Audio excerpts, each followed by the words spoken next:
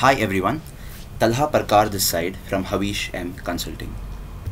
In uh, continuation to the training that we had on Saturday, uh, there was one thing that was not working on the Microsoft PowerPoint version that you guys have at the DS group, which is the 2013 version, which was transparency uh, when working with images and videos. So I'll just show you a short demo. So I found a way. So there is no direct option to reduce the transparency for a video. For an image there is one way that we did in the training but I'll just show you an alternate way in which you can do the same reduce the transparency of the image or the video that you want to have as background. So I'll just go to insert. I'm using the same practice file that we had images and video. I'll just go to insert and I'll go to my folder where I have the image downloaded. So this was the image that I had downloaded I'll just insert that image. So I want financial performance Noida plant as my uh, title. So I'll just uh, you know ready put that put that out for a second. I'll drag it onto the screen later on. I will just fit this image to the slide so that it is a perfect match on the backdrop. And there we go. I'll just drop this down as well I'll send the image to the back of the screen right? Now what you have to do is you have to go to insert and then you have to go to insert shapes and then just select a rectangle.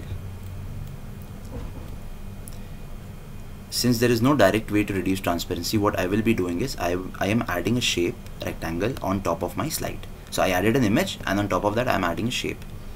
I will make the outline of this to be a no outline because I don't want any border for the shape. And the shape fill will be a lightish gray right? And then I'll just do a right click and I will go to format shape at the bottom like we do for all shape formatting options.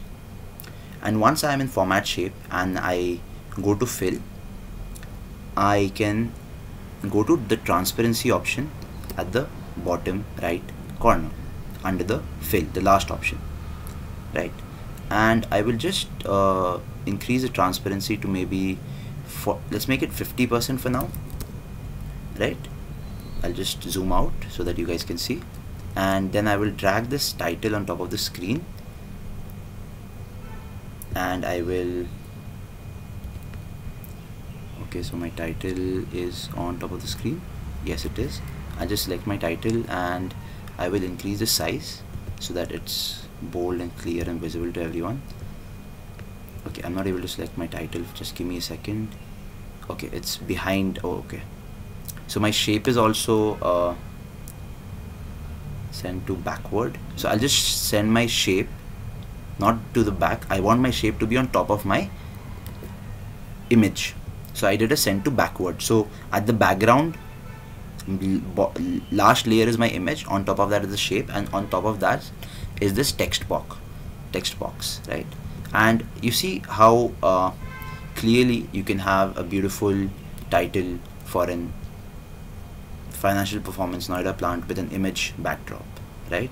You can change the font. You can change the layering. You can play with the size. But this is how you do it. You add a shape. Similarly for a video as well I will insert a video now I'll go to insert I'll go to pictures I'll go to this device because the video is saved on my device I'll go to practice files okay I oh okay sorry I will go to insert then I'll go to video on the right I'll not go to pictures um, for the picture I'll go to picture for inserting video I'll go to video and then I'll go to this device and once I'm here I will select the counting money visual that we downloaded from pexels.com if you guys remember. Uh, similar thing I'll do here. I will first send this to back so that uh, this is my last layer on my slide. So now when this is my last layer my text box is on top of it right? This fit fits perfectly. Uh, I will do a I will go to insert and again I will insert a shape a rectangle. And once I insert that rectangle I will make sure it fits the slide perfectly. I will go to the shape format at the top and then I will go to shape outline and make this a no outline which is already selected by default but still you need to ensure that you have a no outline. Then I'll go to shape fill and then I'll do a light gray color right? Now my text box is behind behind my shape so I'll click on the shape and then I'll do a send to backward so that my text box which is another object comes ahead right I'll place my text box in the middle. I will go to fill in format shape and I'll go to solid fill. You select the shape then you go to solid fill. And again here also I'll make the transparency maybe 50% or 60% in this case right? This looks much better. And when I increase the size of the font maybe the color a bit I'll change the color I would want it as a